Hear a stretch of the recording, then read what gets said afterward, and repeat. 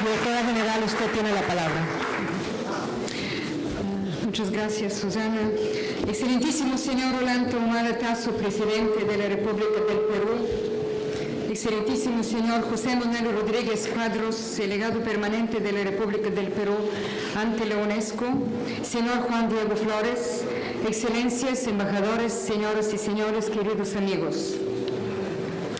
Hoy es un día de fiesta para la UNESCO.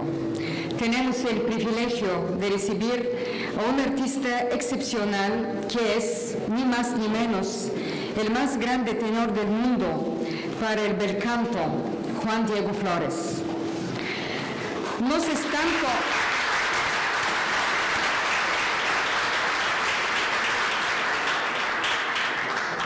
Nos es tanto más grato cuando nos honra con su presencia el presidente de la República del Perú en persona, el excelentísimo señor Orlando Humala Tasso. Este es eh, sí, eh, en sí un gesto muy elocuente del apoyo a la cultura al más alto nivel y el signo revelador de la función que usted, Juan Diego Flores, cumple promoviendo la música y el arte. Es un gran honor para nosotros. La historia, señoras y señores, de Juan Diego Flores se asemeja al libreto de una ópera de Rossini, Donizetti o Bellini. Es, por supuesto, una historia de amor, un amor apasionado por la música. Todos los amantes de la ópera, entre los cuales me cuento, la conocen. Su infancia en Lima, al compás de los valses criollos de Chabuca Granda que cantaba su padre. Su gusto precoz por la guitarra y el rock and roll.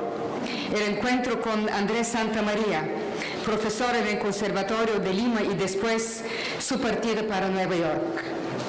Se compra el pasaje de avión gracias al dinero obtenido con la venta del viejo coche de su madre, un Renault 4L y en el metro de Nueva York canta las melodías del repertorio napolitano.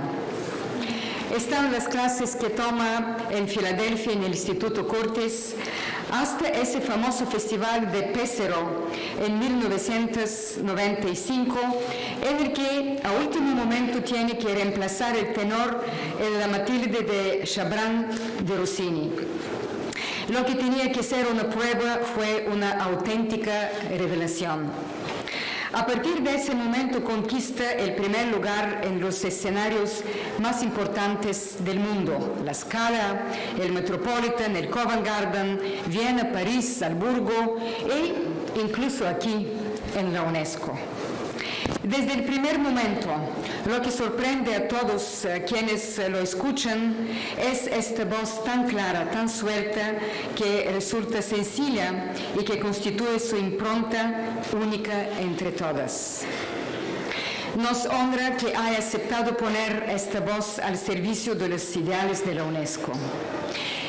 En el mundo, amenazado por la intolerancia y el repliegue sobre sí, la música es un idioma universal que puede ayudar a fortalecer el entendimiento mutuo, y el diálogo.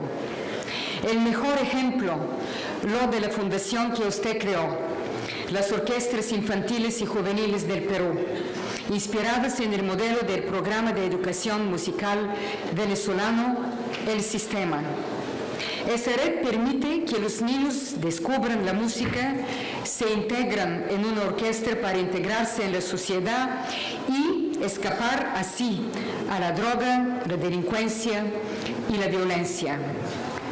La iniciativa cuenta hoy en día con unos 20 centros a través de todo el país y es un perfecto ejemplo del poder de la cultura como motor de inclusión social y de convivencia la clave de todo el desarrollo sostenible viable.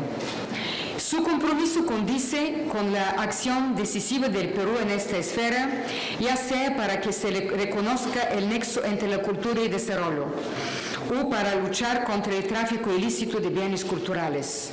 Es un ejemplo para el mundo.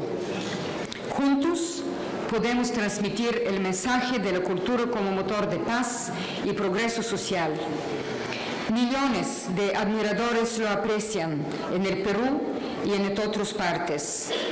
Usted tiene la suerte única de poder llegar a los más profundos de esas personas. En esta misión podrá contar con la red de los embajadores de buena voluntad, de la que ya forman parte otras personalidades, como Forrest Whitaker de los Estados Unidos, Salif Traoré de Côte d'Ivoire o del doctor Sen Jensitsu de Japón. Por intermedio suyo celebramos a un país entero. A pocos pasos de aquí se puede admirar la exposición del artista Alberto Quintanilla y más allá del Perú celebramos a América Latina.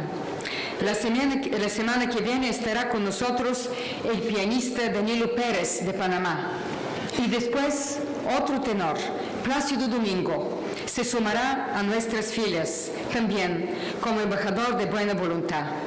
Esta es una semana fausta para la cultura de lengua española, la lengua castellana. La música tiene el poder de agrandar el espacio. Sí, la cultura nos ayuda a acariciar grandes proyectos. En esta tónica me es grato designarlo embajador de buena voluntad de la UNESCO.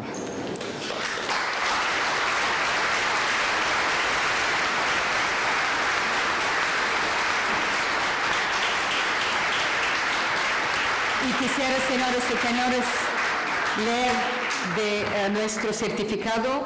Juan Diego Flores es designado embajador de buena voluntad de la UNESCO por los años 2012 y 2014 en reconocimiento a su dedicación a iniciativas relacionadas con la inclusión social y la educación, en particular en su capacidad de presidente de la Fundación del Sistema de Orquestas Infantiles y Juveniles del Perú y por su dedicación a los ideales y fines de la organización. Felicitaciones.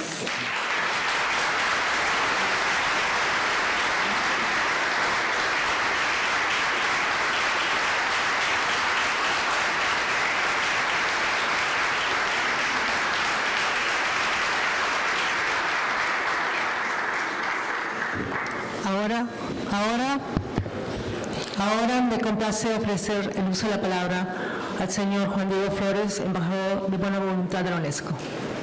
Señor Juan Diego Flores, usted tiene la palabra.